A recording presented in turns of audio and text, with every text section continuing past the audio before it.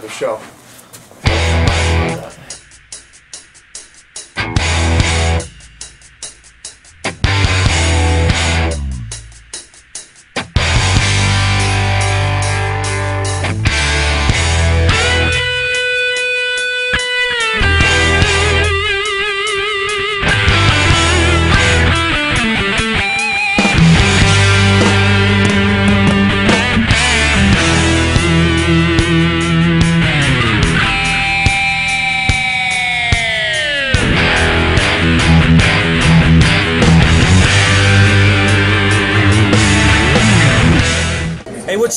My name is Lachlan Monroe. You're watching Vinny and Skip on the best damn movie show on YouTube.com.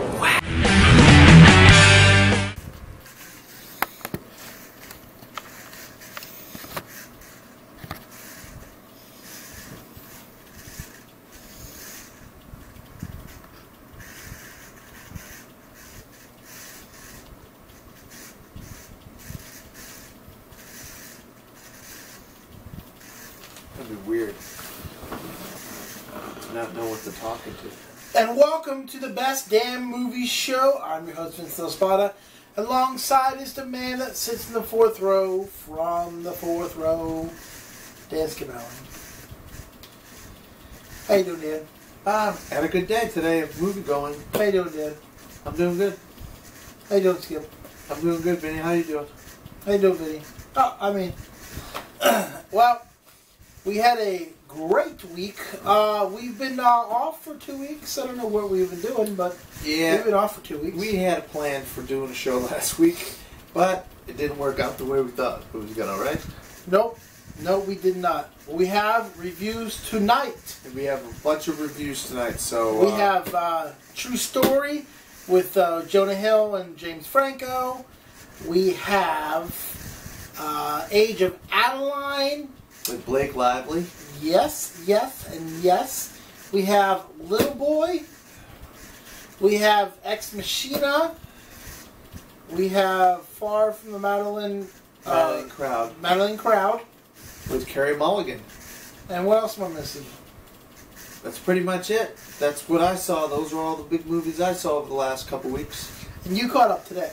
Yeah, I kind of caught up today. You had already seen um, a few of these movies last week, but I had to catch up because I have been busy with work and other things going on in my life. But I caught up with a few of the movies today, and so far, pretty much now, I mean, only a few movies. You're ahead of me. We have like a contest between ourselves how many movies we get to see, and usually I win. And but Vinny's winning right now. Vinny's seen more movies than me. But you know, I won't talk. I won't see him for a week, and then all of a sudden he'll be up to like five thousand and sixty-eight. And I'm like, what the hell did you do? what what flea market did you buy? Well, let's get into it. Let's start off with uh, let's start off with True Story. Uh, this one starring James Franco and Jonah Hill. yeah, it's uh, this guy Christian Longo. Uh, he gets caught in New Mexico after he had been killing. He had killed his wife and kids, and he takes this writer of the New York uh, Times name, Mike Finkel, and Jonah Hill plays the actual Mike Finkel, and the, the whole movie is about the, the the trial of Christian Longo and Mike Finkel talks to him. He's like wondering why did you take my name? What's going on with you? Why did you do what you do? Did not do?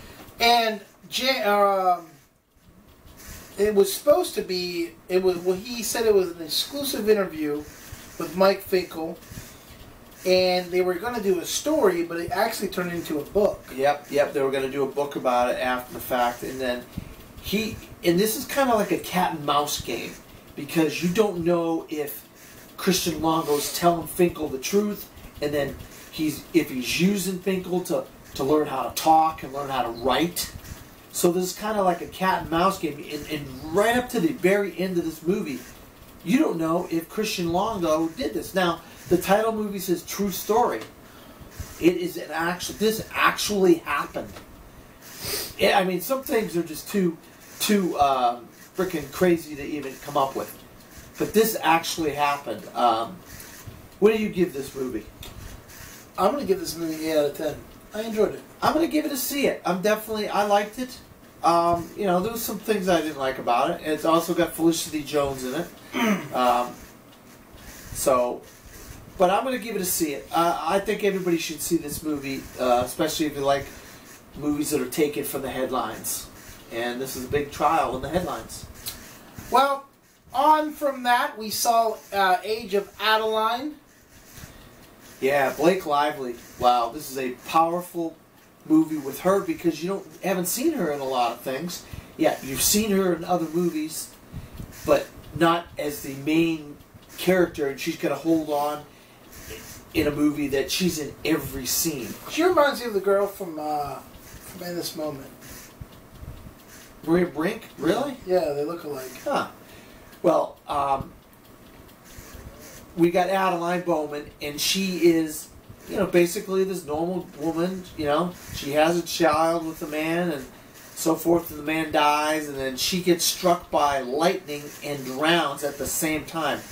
But what happens is, it doesn't kill her. It does something to her molecular uh, makeup of her body, and it makes her not able to age. So she's going to hide. She's going to be able to go through San Francisco and the places, London, France. She travels around and she hides because people start recognize her. The fact that well, you're 46 years old and you look like a 21 year old college girl. And so she has to hide, and the only person that really knows is her daughter. And her daughter is actually aging in real life, and her daughter pe- played by Ellen Burstyn most of the movie. And she uh, she aged, or yeah, she at the end of the movie she's 105. I think Um, it was 107. It was 107, Yeah. 105, 107. Um, I'm not gonna tell you what happens at the end because at the end it's pretty uh, it's pretty cool what happens at the end. But another uh, key player in this movie is Harrison Ford. Yeah, it, uh, he plays a uh, gentleman by the name of William, and you'll without giving away the plot, he has a relationship with Adaline back in the '60s, and young William is played by a man named Anthony Ingruber. Now, if you know who Anthony Ingruber is, he does a spot-on Harrison Ford. So he's the perfect guy to do Harrison Ford when he was younger. So without giving a lot of the plot, she has she's had multiple lovers over her 107 years.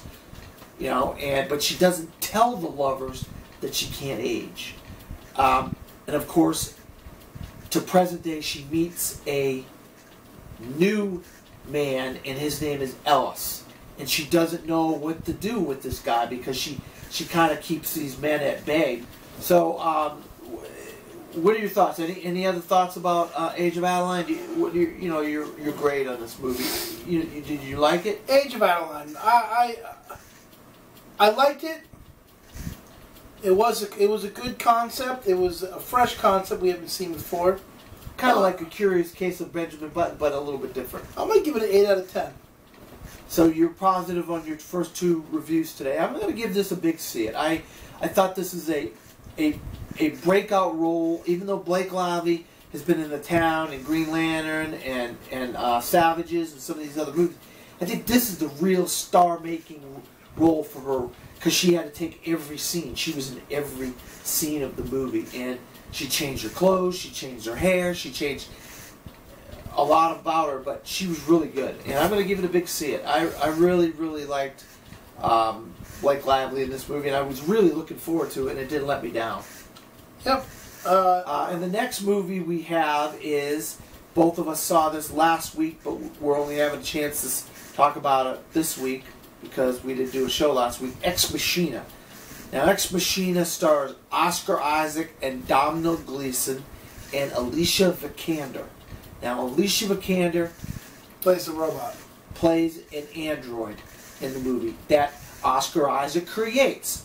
Now, he he owns a business, but he's like a recluse. He's in, he lives in the middle of nowhere, and he in the in the middle of these mountains, and he takes this hot shot young guy that seems to be doing a real good job in his company to come out and work for him and study what he's doing, whether he should put this robot out for mass production or is this is this android something that the world should see? And he's having this guy do these tests on her. That's um, Donald Gleeson. Well- all right, this is an A24 film. Um, so, what are your last thoughts and, your your um, your score or whatever uh, on on um, Ex Machina? I think it's different.